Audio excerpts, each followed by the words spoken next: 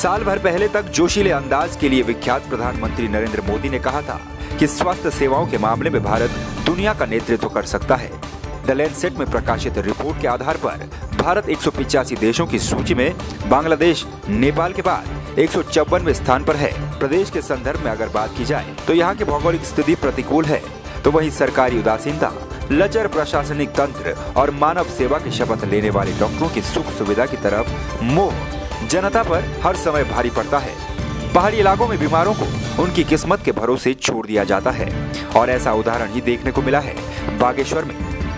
बागेश्वर मुख्यालय से 25 किलोमीटर दूर कांडा सामुदायिक स्वास्थ्य केंद्र में इसके अंतर्गत 45 से अधिक गाँव आते हैं।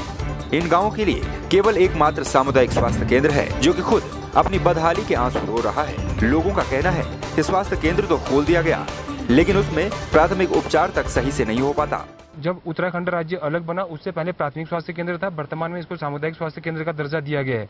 लेकिन एक सामुदायिक स्वास्थ्य केंद्र के तौर पर इसमें किसी भी प्रकार की कोई सुविधाएँ वर्तमान तक नहीं है। मिनिमम इकतालीस से लेकर के बयालीस या उससे अधिक आस पड़ोस के गाँव इस अस्पताल से जुड़े हुए हैं। ग्रामीणों का कहना है कि स्वास्थ्य केंद्र में मूलभूत सुविधाओं का अभाव है जिसके चलते ये सिर्फ़ रेफर सेंटर ही बनकर रह गया है। यहाँ पर कोई सुविधा नहीं है खाली डॉक्टर दे रखे हैं। और जो है क्या कहते हैं ना एक्सरे है ना अल्ट्रासाउंड है ना यहाँ लैब कोई टेक्नीशियन है। कोई भी सुविधा नहीं है जिनके पास पैसे बाग से जाते हैं अल्मोड़ा जाते हैं हल्द्वानी जाते हैं। और जो है गरीब लोग जो है खाली यहाँ पे वो करते हैं अपना। वहीं स्वास्थ्य केंद्र की बदहाली पर मुख्य चिकित्सा अधिकारी स्टाफ का रोना भी रो रहे हैं। कांडा की सीएससी में वैसे शासन आदेश के हिसाब से सात डॉक्टर हमें चाहिए लेकिन वहाँ पर दो ही कार्यरत हैं। हमें हमारी जो रिक्त पोस्ट जगह हैं उनकी सारी डिटेल्स महानिदेशक कार्यालय में उपलब्ध करा दी है।